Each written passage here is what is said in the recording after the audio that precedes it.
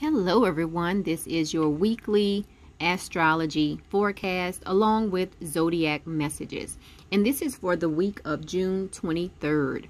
So let's get right into it. I have already pulled cards for each sign.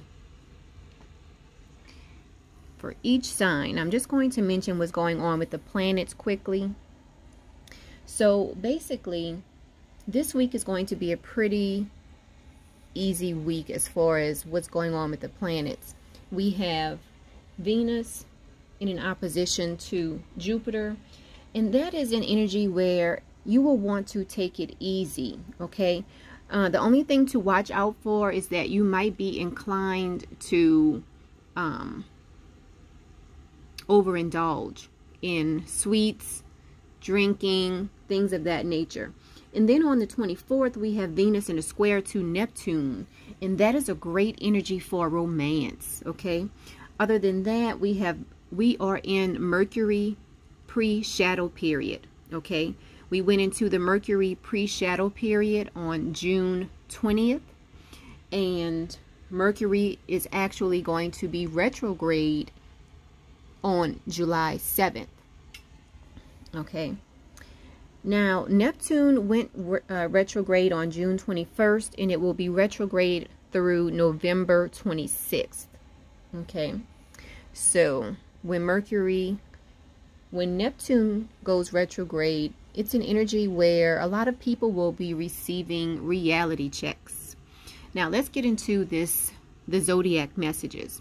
Okay, so Aries, you have the star card this week. So a lot of Aries are going to feel very optimistic this week. You might even, um, a lot of Aries will be receiving healings this week. So that's really great. Now, moving on to Taurus. Taurus, you have the temperance card this week. Okay, so for a lot of Taurus this week, there's going to be harmony in your life there's going to be a sense of peace and balance. That is for Taurus. Moving on to Gemini. Gemini, you have the Four of Pentacles. This is all about a firm foundation. So this is going to be the focus for a lot of Geminis this week. You will be focused on harvest. Excuse me. You will be focused on your harvest. You'll be focused on manifesting this week. Okay, building your wealth, basically. That's for Gemini. Now, moving on to Cancer. Cancer, this week is going to find you doing a lot of planning and having a lot of patience this week. You see that? Cancer, you have the patience and planning card. So that's what you have to look forward to this week, Cancer. Moving on to Leo. Leo, you have the universe card. This is going to be a great week for a lot of Leos. Also, Mercury is moving into Leo on the 26th this week. So we are getting ready for Leo season, all you Leos out there. Moving on to Virgo. Virgo, you have the temptation card this week. So you might be exposed to um, partake in too much drinking, too much eating, um, too much sleeping. Just watch and be careful not to overdo anything this week, Virgo. Now, moving on to Libra. Libra this month, or really not this month, but this week you have the Hanged Man card. You have the Sacrifice card. So a lot of Libras might be called to make a lot of sacrifices this week. Okay, just be prepared. Be prepared to make a lot of sacrifices this week, Libra. Okay. And it's going to require you to have a lot of patience as well this week, Libra. Okay, moving on to Scorpio. Scorpio, this is going to be a great week for you. Look at this. You have the fulfillment of wishes card. So a lot of Scorpios are going to feel like this week is their week. That is great. That's something to look forward to. Now, moving on to Sagittarius. Sagittarius, excuse me, a lot of you single Sagittarius out there, you're going to have a great dating life. If you are in a relationship, your relationship is going to go really well. Look at this. You have the spiritual union card. Okay, that's for Sagittarius. So this week looks really great for Sagittarius, especially in the area of romance. Moving on to Capricorn. Capricorn, you're going to be making a lot of financial decisions this week. Okay. Remember, this is a general reading, so if something does not resonate with you, don't think about it too much. This is for entertainment purposes only. But for Capricorns, a lot of Capricorns out there are going to be going through a lot of financial changes this week. Okay, moving on to Aquarius. Aquarius this week looks great for you. Okay, you have the Four of Wands, and this deals with uh, harvest.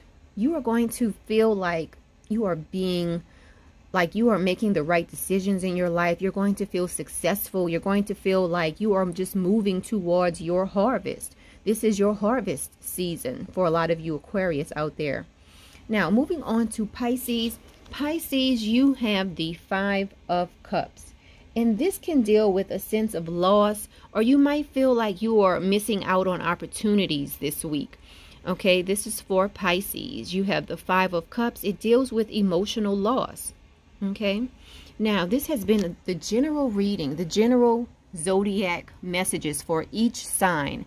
I'll show you what each sign has again. Aries, you have the Star card, which talks about hope. Taurus, you had the Patience card. Gemini, you had the Firm Foundation card, which talks about building wealth. You Cancer, you had the Patience and Planning card. So this week is going to be filled with a lot of patience and planning for you.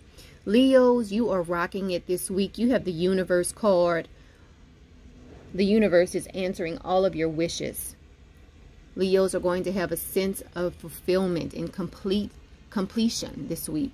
Virgo, stay away from any temptation this week. Libras, you have the sacrifice card, so you might be called to make some sacrifices this week. Scorpio is going to be a great week for you. You have the fulfillment of wishes card. Sagittarius, romance looks great. You have the spiritual union card. Capricorn, you might be going through some financial changes this week. Aquarius, everything looks great for you as well. Pisces, some of you Pisces might be dealing with an emotional loss this week. So that has been the reading for the week of June 23rd. This is Citrine Chaka. I'm also known as Dee. And if you would like to contact me, here's my contact information metaphysicalmoonlighters.com. You can also email me at citrinechaka at gmail.com if you would like a reading. Until next week, everyone, enjoy your week.